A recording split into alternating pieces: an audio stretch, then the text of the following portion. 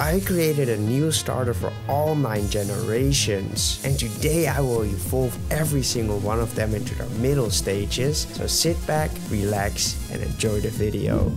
Now before we head into the drawing, let's have a quick look at the Kanto second stages. We have Ivysaur who seems to have gotten bigger, a more fierce look, and a more detailed plant on his back. We have Charmeleon who got a lot more defined limbs, an extrusion on the back of its head, and his flame appears to have gotten bigger. We then have Wartortle who seems to look a lot fiercer as well, has developed wing-like ears, and has more details in his tail. I believe the biggest biggest things we can take away from this is that they have all gotten bigger and more mature proportions. They all look way more confident in their own abilities. We began by deciding that we wanted the pose to mirror the one of Sceptor and added in a sphere for his head shape. I will admit that I was pretty scared to work on this piece because I wasn't sure if I was able to make a version of a raptor that would look a bit older than our previous one. Luckily, this feeling disappeared quite quickly and we got a raptor looking body in no time by using some simple shapes. We made sure to make his body a bit thicker and made his head a bit smaller compared to it as well. We then brought back his electric tail which we changed ever so slightly but we wanted it to stay stay quite simple, because it is of course still a Gen 1 Pokemon. After this we worked on his limbs, and it wasn't actually as difficult to draw as the first stage was, purely because we now had a reference piece we could follow. The last details we added were the skills on most of the same parts as the first stage. The line art phase actually goes by a lot easier now as well, since we just scale up the original designs before starting on it, which makes us able to see if it has the right thickness. For the colors the second stages appear to be using a slightly darker and different hue color for their elements. This meant that we were going for a dark and a bit more orangey yellow for its body, and we did the same thing for its belly color. The scales on his body got a darker color as well, and although I didn't want his eye color to be as bright as the first stage was, I did still make it quite bright to let it pop out from the rest of his colors. The shading was once again a big success for Gen 1, and I really really think it makes look like it belongs as the second stage of Zaptor. Elector, the raptor Pokemon. It is a menace in its homeland, causing wildfires to start from the electricity it generates as it runs. The pictures of Elector are never consistent, as it's so fast that not even a slow motion camera can get a clear shot of it. So far this has to be the most realistic line I've ever made. There are definitely some flaws in the design perspective wise, but I do think it genuinely looks like a Pokemon. It also blends in nicely with the other middle evolutions from this generation, so you could say I'm definitely happy with this drawing. Next up are the second stages of Johto. We have Bayleef that seems to build further on the already established elements of the first stage, Quilava who mostly changes his proportions, but it also opened his eyes and gave him another fiery element. And we have Croconaw who appears to have changed the most of this and became a stronger and bulkier version of its first stage. Our goal would be to play around with the proportions and to see if we can upgrade the already existing elements as well.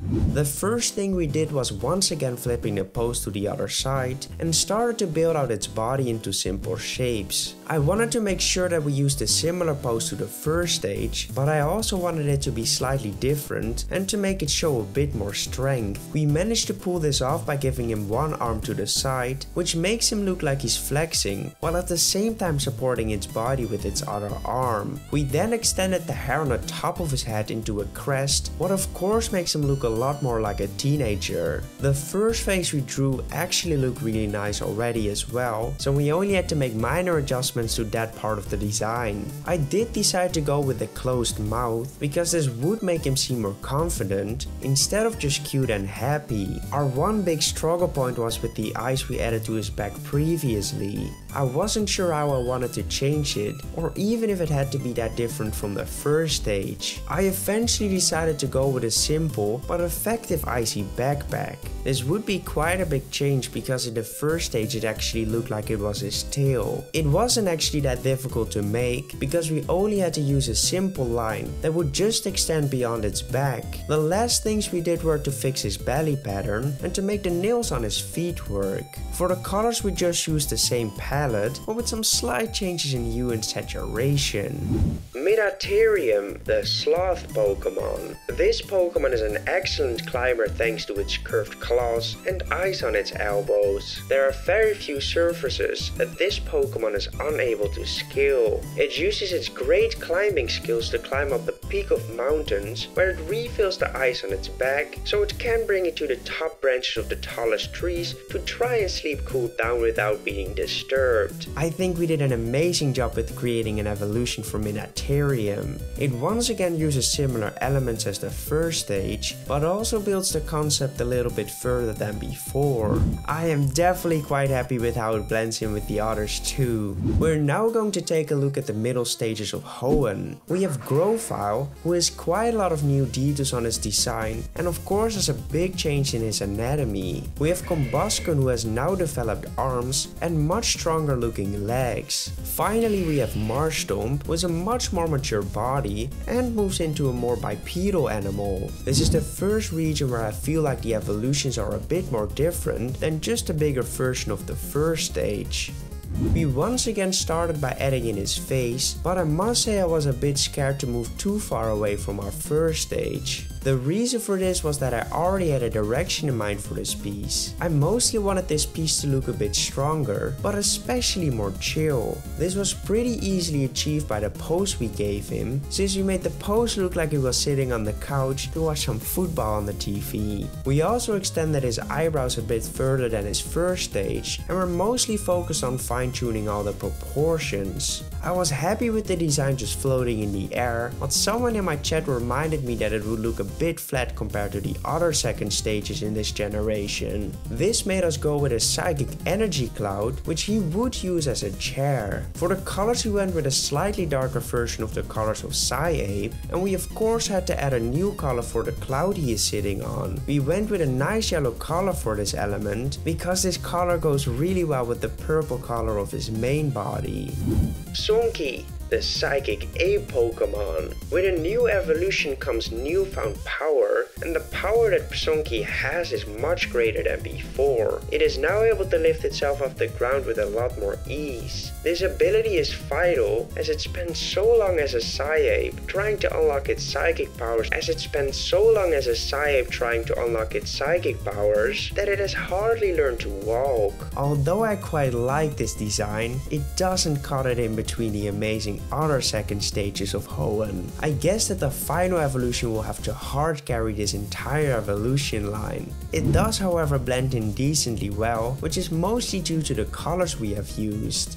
The next region are the second stages of Sinnoh. We have Grotle who has quite a big body change, making his shield move onto his neck and moving his leafy features to its back instead of his head. We have Monferno who mostly just got bigger limbs, but did have some actual changes in his face and tail. Last but not least we have Prinplup who just like Grotle has received quite a big change in his proportions and details as well. All of these designs feel like they are building up quite nicely to a different body type for the final stage, so that's definitely something we have to keep in mind for our design too.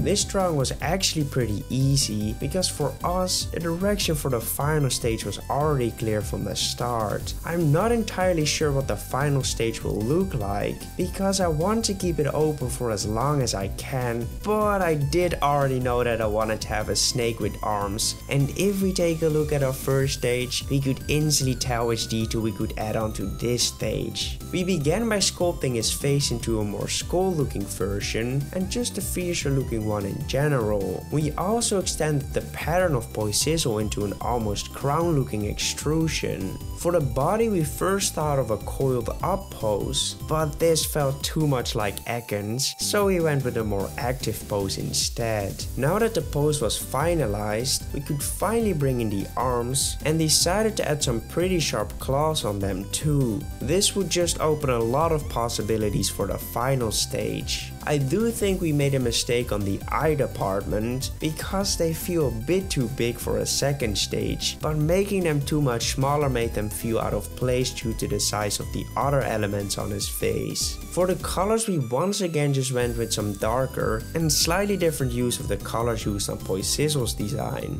Toxisol, the Gorgon Pokemon. This Pokemon seems to not only have to rely on its poison anymore and can do great amounts of damage with its big claws. However, the poison is still a great part of its fighting style, since it appears to have gotten stronger and not even Vanillite's eyes can be used as treatments for the wounds anymore. Luckily, the structure of Vanillish eye seems to do the trick now. In the end, I am happy with this finished piece, but I definitely think it could be improved big time. I do however think an awkward look fits in great with it being a second stage though. If we would be taking a look at how it blends in with the others, I would say it blends in okay, but nothing more than that since the eyes differ quite a bit by being yellow. I created a brush set with all my favorite brushes. I use each of them with every drawing that I make, so if you want to draw in the same style as me, I recommend checking out my website. For only 5.99 euros, you can get the Procreate brush set, which you will be able to use in Procreate. It includes an amazing line art brush, a highlight brush which instantly makes your pieces look a lot better, and many other fantastic brushes. I also want to have a written down version of how to create Paradox Pokemon, that's why I created this step-by-step -step guide. It's easy to follow and I added a bunch more tips you can use while drawing. You will also get the work files of the two Paradox Pokemon we created. And I added two work files with just a line art so you can practice coloring and shading. This guide is also available for 5.99 euros on my website. But since I thought you guys might be interested in buying it together with the brush set, I made it into a combi deal for only 8.99 euros for the both of them. That is a 25% discount, so I know what I would do. it is now time to take a look at the second stages of Unova, where we have Servine, who has gotten a longer body and some more leaves on its back. Pignite, who seems to have gotten a lot more swole and beefed up, and just quite a big body change in general. We then have Dewott, who has grown a lot more into his body, making him look more experienced and stronger. Once again, the proportions were going to be the most important part to take into consideration. We of course started by creating his head, and surprisingly the body wasn't that difficult. I made sure to go for a cool and powerful stance, to really show the power of this Pokemon. It did take a while to make it perfect and I really had to use a lot of fine tuning. I especially spent a lot of time working on its belly marking because this would ruin the perspective if it looked off. The hands got the same treatment because of the same issues. We then just made his horn sharper and put some extra attention to the eyes. We did this because the first stages were way too big and I really wanted to avoid trying to tweak it once the design was already done. After this we just extended the fur around his neck and made it look bigger and we debated about using a different tail. In the end we decided not to do so and just to keep it simple. For the colors we used slightly darker versions on some parts but didn't go too crazy because it might be too dark otherwise. It was a long time ago since I last made a drawing so the rendering took a bit longer than usual.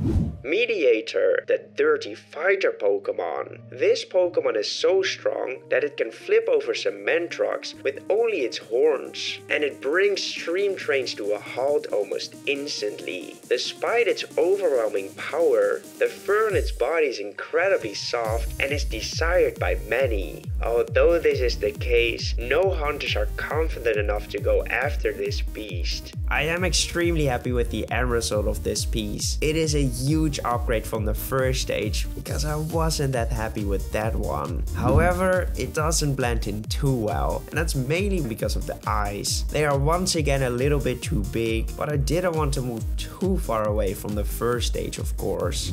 Next up are the second stages of Kalos. We have Quilladin who has gotten a lot bigger and has some strong and thicker features. Braixen, who mainly changes into a bipedal and animal, but also has a few extra elements like a magic wand. And we have Frogadier, who has gotten a faster look and where the features of Froakie grew a bit further like the pattern on his head.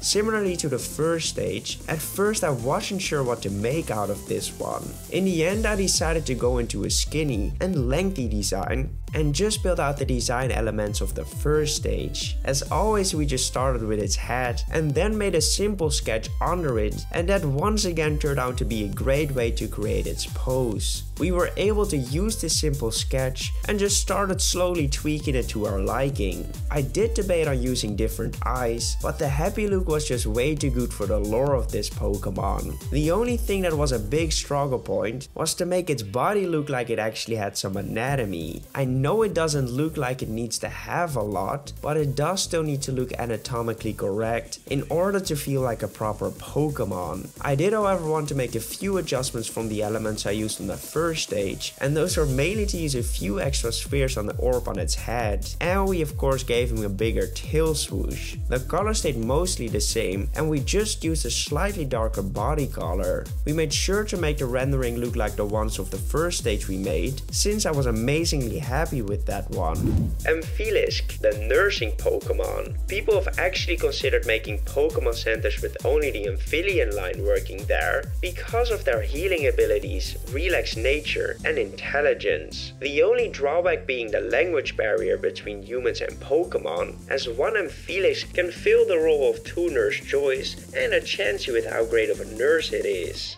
I really love this line. Not only the designs look amazing, but the rendering looks crisp as well. I guess I'm just a big fan of the color palette, because you know, pink is one of my favorite colors. I am however not sure if it blends in with the rendering, but the proportions seem to have been done properly.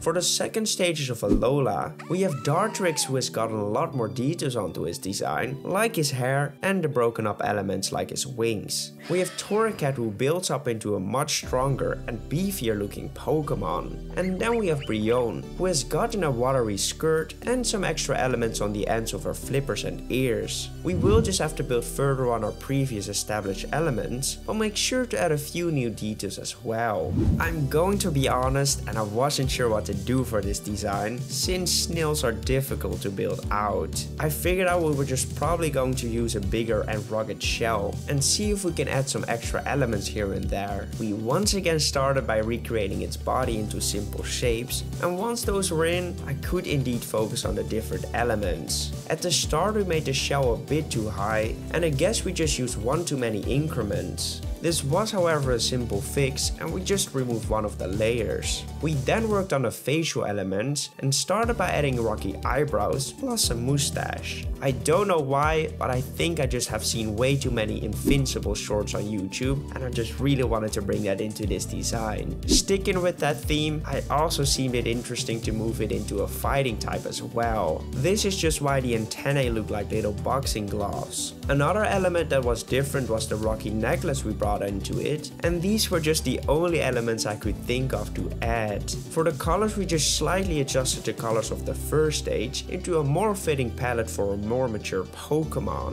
Snurge, the beach snail Pokemon.